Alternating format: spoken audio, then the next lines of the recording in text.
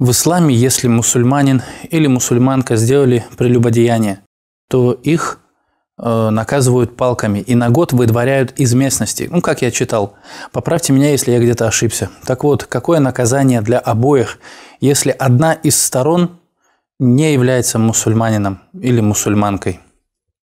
Бисмиллах, альхамдулиллах, вассалату вассаламу аля расулиллах. Наказание мусульманина не меняется – если он зина сделал с мусульманки или с кафиршей, разницы нету, его наказывают.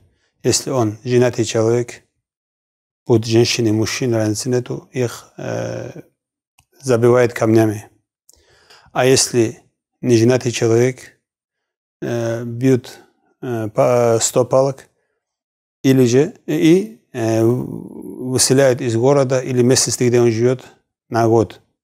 Как изгнание да, изгнание из города или из села, в котором он живет, на год изгоняют из села.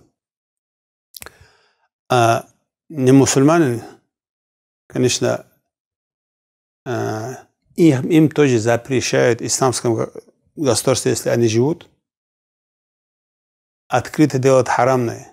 То, что запретно в исламе, им в своем доме, например, если выпивают, в своем доме выпивают они вино, свой дом и кушает, а так открыто его продавать, открыто э, выявлять, это запрещен, запрещает даже кафирам в мусульманском государстве. И также, если при пророке, саллаху случилась ситуация, евреи обратились к пророку, саллаху чтобы он судил за прелюбодеяние. И пророк, саллаху сделал им тоже хокму, тот, тот же хокм, то, что делается для мусульман. И этот пророк сам доказал, что это хокму, такой же хокм было их Таурате тоже, на Торе тоже такой же хокм было.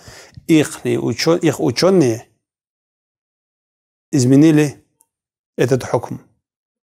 Решение. Это решение, шариатское решение по Торе, которое было, они изменили.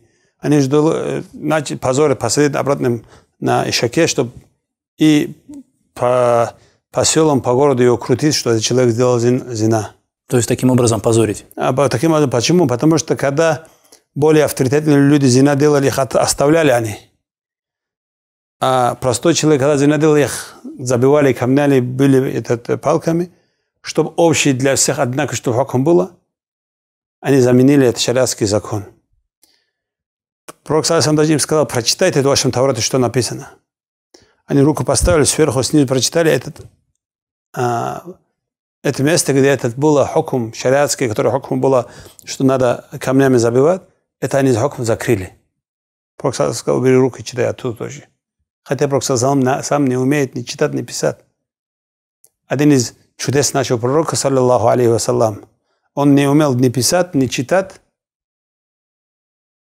потому что если он умел писать и читать, люди сказали бы, сейчас, которые ищут ошибки нашего пророка, сказали бы, он научился это Коран у каких-то евреев, у иудеев или же христиан.